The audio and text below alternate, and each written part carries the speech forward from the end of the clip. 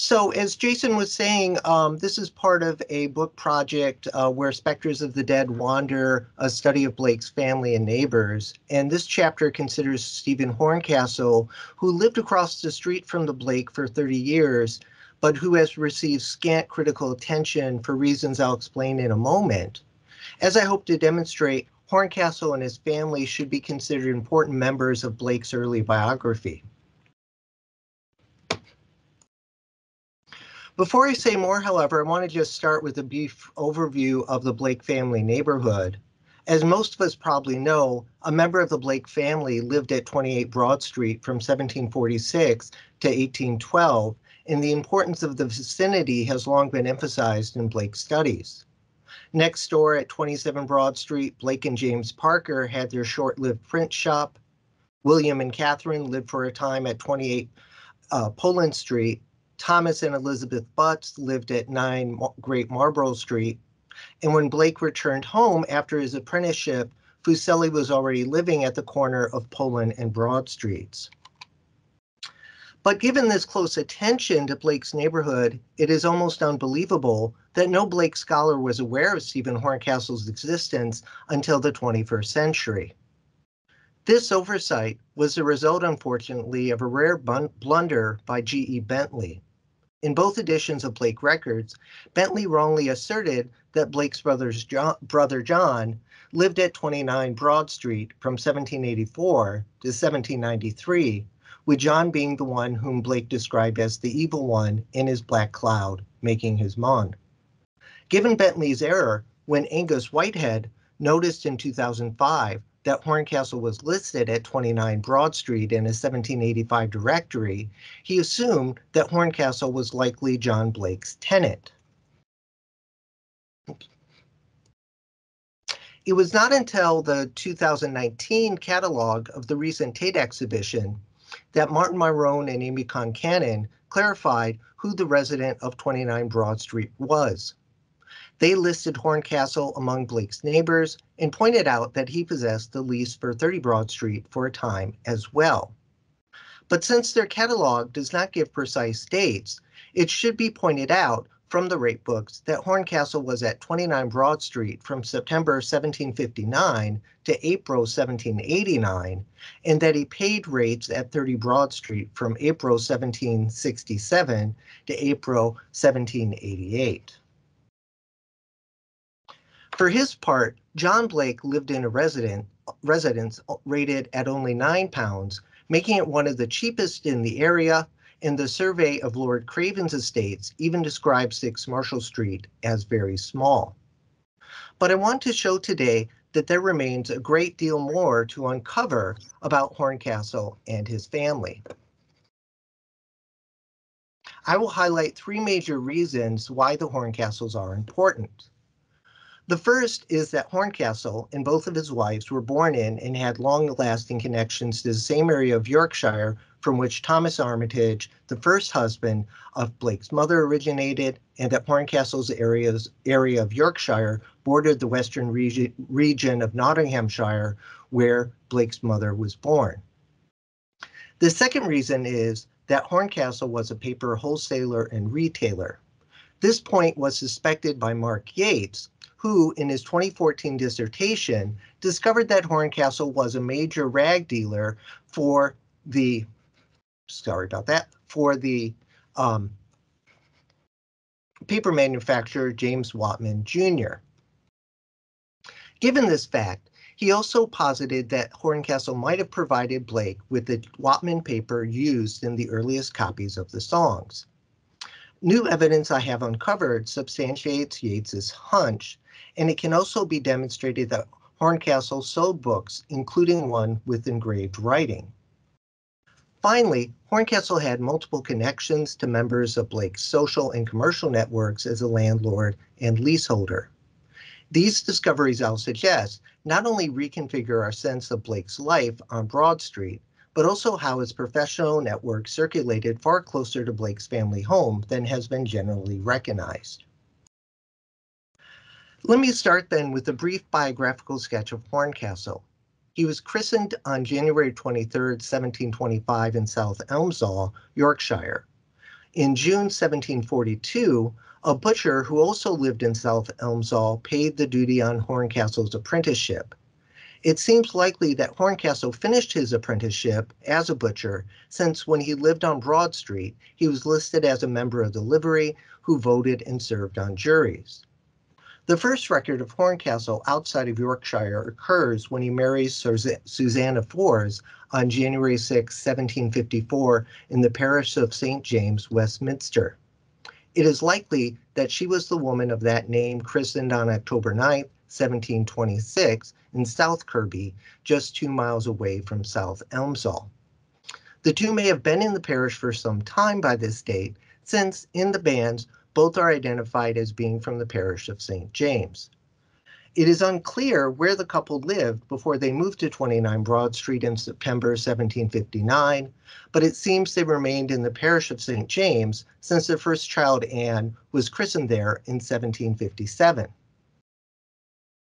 After their move to Broad Street, the couple had three more children, two daughters and one son, all likewise christened in St. James.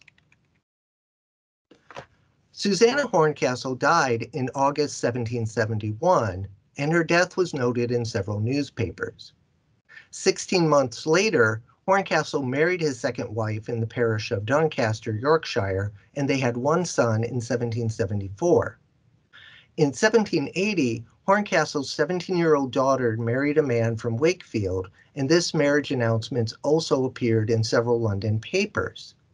In 1789, Horncastle moved his shop and residence to 85 New Bond Street, and after he died in January 1792, his shop was inherited by his son William, who remained in the trade until 1800. Horncastle was buried with his first wife at St. James, Paddington. His grave was significant enough to be mentioned in Daniel Lyson's description of the churchyard in his book, The Environs of London. Lyson's drawing of the Horncastle Monument has been preserved at the Yale Center for British Arts, though I have not been able to verify if it remains standing in the churchyard. Most London papers noted Horncastle's passing, with his fullest obituary appearing in the Morning Chronicle. As this is the only description of Horncastle, I'll read it in full. On Saturday the 14th, died at his house, house in New Bond Street, Mr. Stephen Horncastle, stationer, whose uprightness and friendship were most admired by those who knew him best. He is left by his former wife, five children, and by his present disconsolate widow, one, and who, though left in affluence, are those who will feel most feel and do most lament the loss of so good a father and so good a man. To my ears, at least, this seems like an honest expression of affection and grief. As neighbors of Horncastle for 30 years, the members of the Blake family were presumably among those who also knew him best, and perhaps they shared this affection and grief. At least for Blake's mother, this affection and sense of loss becomes more likely given her common regional identity with Horncastle and his wives. In this slide, you can see the rough locations of Cudworth and Walkeringham where Thomas Armitage and Catherine Blake were born. These two villages are separated by a little more than 30 miles. Now, in this slide, you can see the locations in the Yorkshire associated with Horncastle and his family. While there is no indication that Thomas Armitage and Stephen Horncastle ever met, with Armitage dying in 1751, Cudworth in South Elmsall, where the men were born, are only seven miles apart. Campsall, where Horncastle had a freehold estate, was only six miles farther east. And Doncaster, where Horncastle's second wife was from, is only 17 miles from Catherine Blake's Walkeringham. All of this suggests that the region of Catherine Blake's birth was not as far at, from her life on Broad Street as we might assume. And though there is no material record of contact between Blake and the Horncastle families, this common bond makes the idea of friendship between the families more likely. It also seems possible, though certainly not proven, that Catherine Blake might have gone the 150 miles north on occasion with her affluent neighbors to visit her own family. Turning to my second point, Horncastle's professional activities and networks overlapped much with Blake's own. First, Horncastle sold at least a few books. Between 1758 and 1765, Horncastle was listed as one of the many sellers of Thomas Gurney's shorthand manual, Brachygraphy, first published in 1750. These advertisements ran in both newspapers and in the proceedings of the Old Bailey, where Gurney worked as the recorder. Significantly, many of the other other sellers listed in the advertisement advertisements were among the most important dissenting publishers at the time. For the third edition, these included George Keith, James Buckland, Edward and Charles Dilly, and Jacob Robinson. For the fourth and fifth editions, they were joined by James Rivington, John Payne, Samuel Noble, and most importantly, a young Joseph Johnson. How substantial Horncastle's connections were to these dissenting publishers is not known. Horncastle's later activities suggest he was an Orthodox Anglican, and I could find no references to Horncastle as a seller of any of their other publications.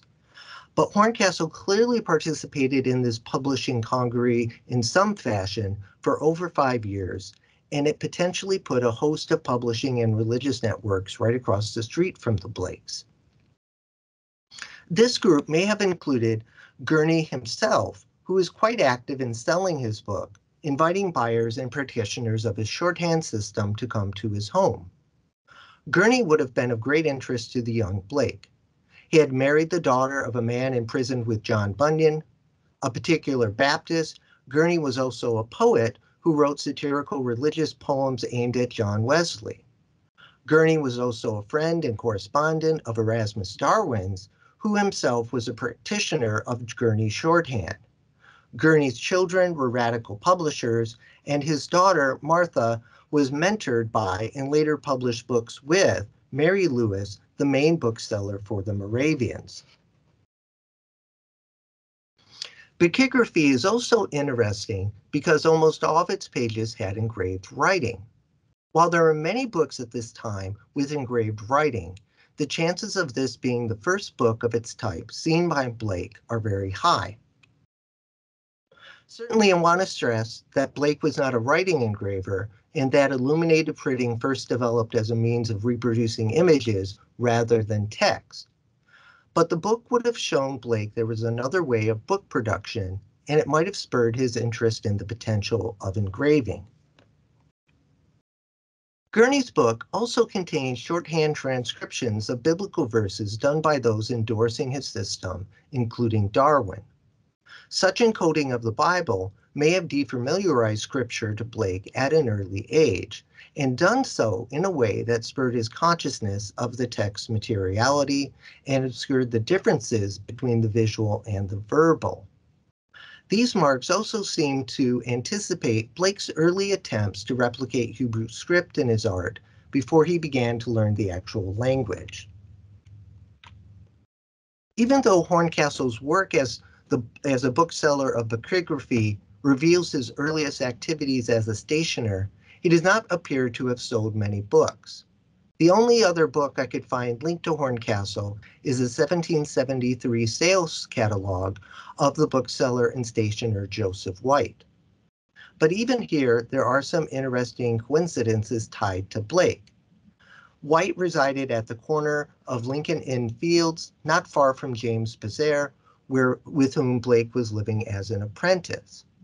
The catalog was also published during the period of Basire's and James Whatman's most extensive contact over the production of the antiquarian paper necessary for the large engravings Basire was doing for the Society of Antiquaries.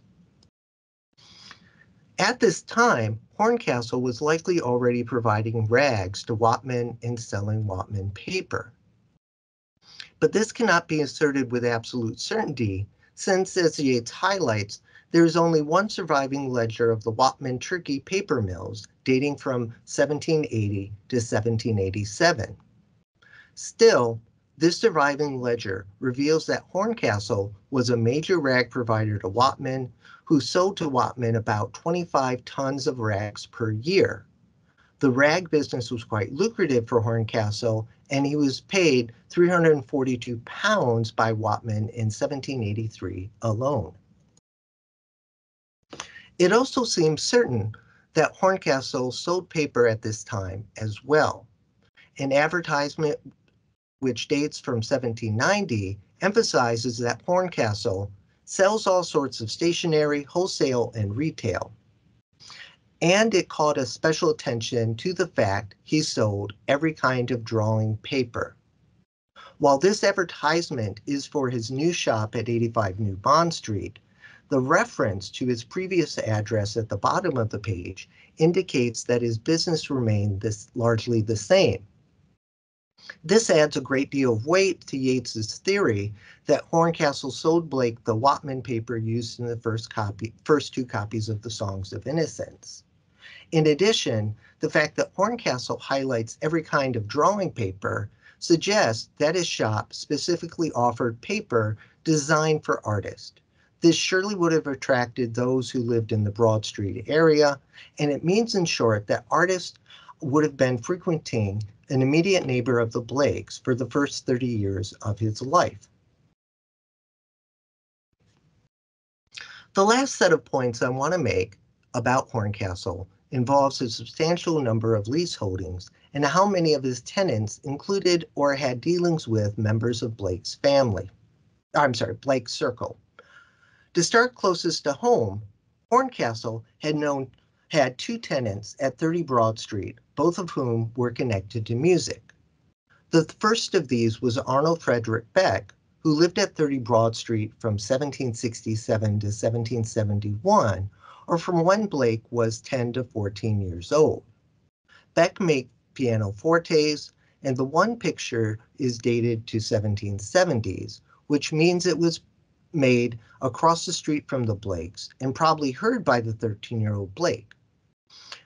Beck would later move to 10 Broad Street, where his presence has long been noted.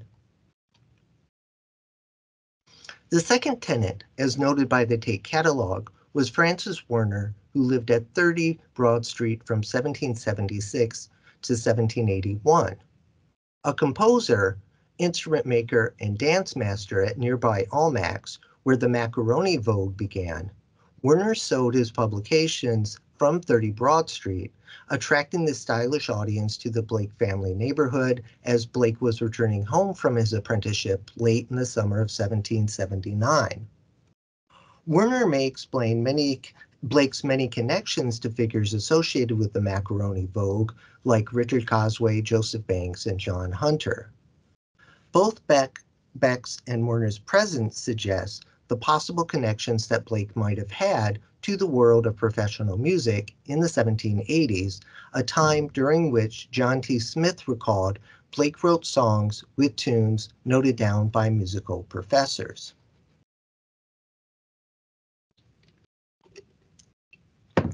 Another tenant of Horncastle's who was connected to music, but who did not live at the corner of Broad Street, was the publisher Robert Birchall.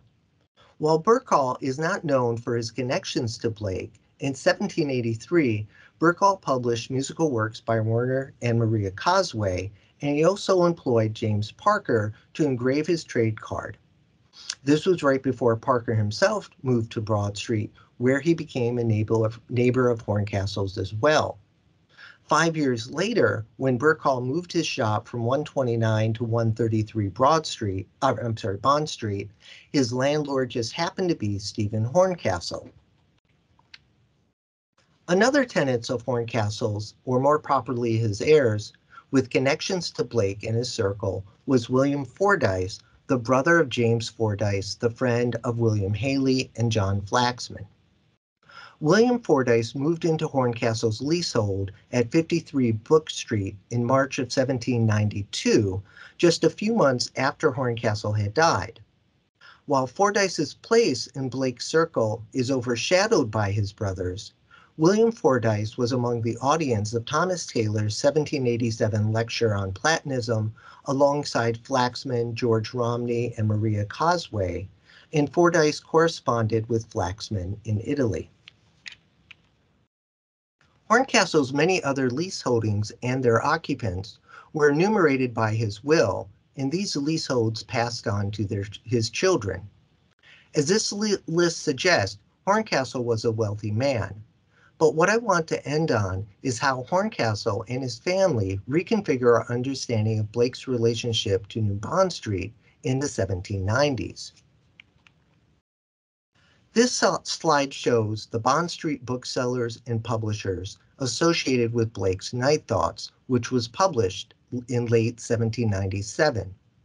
Key, of course, is Richard Edwards at number 142, and his brother James, who traded in Pall Mall, was also important. But we also know from advertisements and catalog listings that as Richard Edwards was leaving the business, Faulder, Clark, and Robson offered the book and accepted subscriptions for the subsequent volumes that were never published. Without knowledge of Horncastle and his family, we would be led to believe that their efforts stemmed more from their close proximity to Edwards and less from their association with Blake. However, if we look at the family members and tenants of Horncastle in the same area at the same time, we see their substantial presence. Anne Horncastle, a woman Blake had known his whole life, lived a block away from Richard Edwards' shop, and her brother William lived and traded a block beyond that.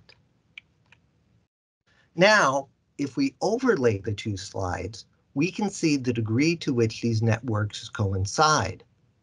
William Clark at 38 New Bond Street is especially interesting since he is both a seller of Night Thoughts and a tenant of William Horncastle. Given his long association with William Horncastle, Blake cannot be considered a plebeian interloper in this bookscape, despite the little he was paid for his Night Thoughts work. Moreover, as a paper wholesaler and retailer like his father, William Horncastle may have been involved in the production of Night Thoughts himself. I would propose, based on his proximity to Edwards's shop and his relationship to Blake, that Horncastle may have even been the supplier of the Whatman paper that made up Blake's Night Thoughts engravings, and which provided the stock from which Blake drew for many years, including for the Four Zoas.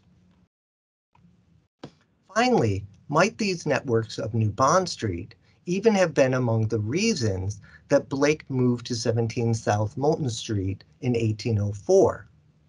While no longer across the street from one another, Blake and William Horncastle are once again in surprisingly close proximity. And though Horncastle had retired from the stationery trade by 1800, the last coincidence I'll point out is the fact that the first person Horncastle rented to and who was living at 85 New Bond Street in 1804 was an ironmonger, William Armitage, who just happened to share the last name of Catherine Blake's first husband. Perhaps the only reference to the Horncastle family in Blake's writing is an obscure notebook poem, Swelled Limbs with No Outline, from which I drew my title. The poem appears to be crammed under satirical squibs on Hayley and Reynolds, so it probably dates from the last part of the first decade of the 19th century, and perhaps even during Blake's 1809 exhibition, when he would have been at 28 Broad Street more often. In the poem, Blake associates the lack of outlines with the stink of a paper mill whose pulp has been washed and finished by journeymen as paper. Given the Horncastle connection to rags, paper production, and paper sales, the turn to a neighbor at the end of the poem seems to inquire, perhaps of William Horncastle, his thought about the type of uh, the bad type of art that journeymen would put on the paper he sold. Or, if it is a more specific criticism, perhaps it is a criticism of something Horncastle bought, or if it was written during the exhibition, perhaps something Horncastle did not buy, since I could find no trace of any Blake items owned by the Horncastles or their descendants.